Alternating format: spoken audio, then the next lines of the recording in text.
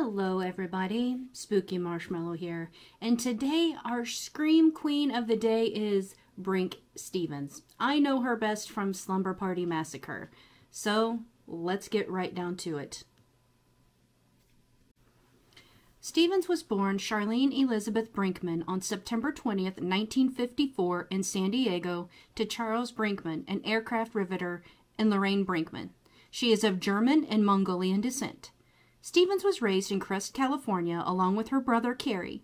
She graduated from Granite Hills High School in El Cajon and was a gifted student, becoming a member of Mensa International while still in high school. As a teenager, she was a fan of Star Trek and frequently attended sci-fi themed conventions. In 1974, Stevens attended San Diego Comic Con and won first place in the Miss Masquerade Ball. She remained involved in running the masquerade at Comic Con for years after her win.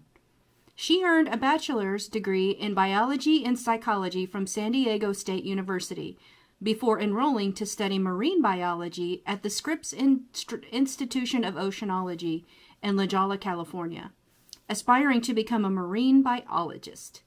Stevens planned to pursue a PhD at the Institute, but was barred from completing when it was uncovered that she had incorporated dolphins at SeaWorld as part of her studies, violating the Institute's authorization that had given her clearance only to study the vision of seals.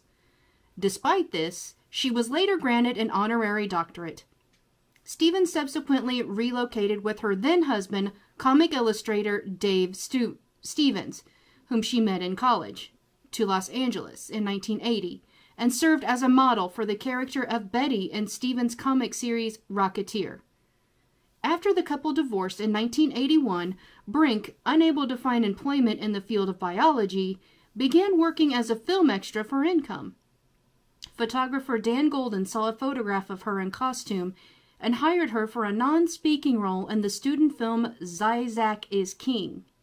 He also later photographed her for the cover of the first issue of Femme Fatales. While leaving a modeling agency, Stevens stopped by an office door to look at film posters on the walls.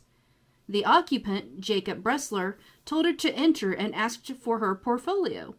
On the basis of that, he cast her in an uncredited non-speaking role in All the Marbles.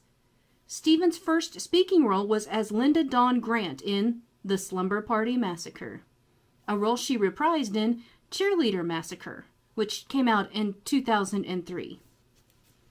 Stevens has appeared in more than 100 feature films, primarily in the genres of horror, science fiction, and fantasy films.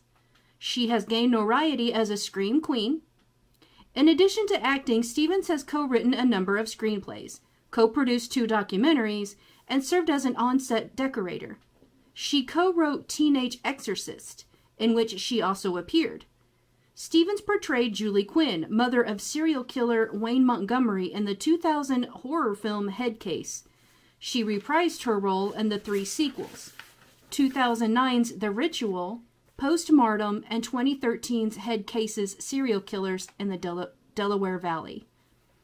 Stevens is depicted in the horror novel Bad Moon Rising, the third installment of Jonathan Maberry's Pine Deep trilogy alongside Jim O'Rear, Tom Savini, and Debbie Rochon, published in 2008. More recently, she has appeared in a 2009 documentary, Pretty Bloody, The Women of Horror, and appeared in the 2013 remake of Die Sister Die. Alongside regular co-stars Linnea Quigley and Michelle Bauer, Stevens appeared in and was a main subject for the 2011 documentary Screaming in High Heels, the rise and fall of the Scream Queen era, and its 2020 follow-up Screaming in High Heels, the reunion. Stevens narrated the 2021 SiriusXM podcast limited series Comic Con Begins, origin stories of the San Diego Comic Con and the rise of the modern fandom. All right, that's going to do it for today's Scream Queen Brinke Stevens. I am Spooky Marshmellow. Thank you so much for watching. Please like and subscribe. And remember, stay spooky, my friends.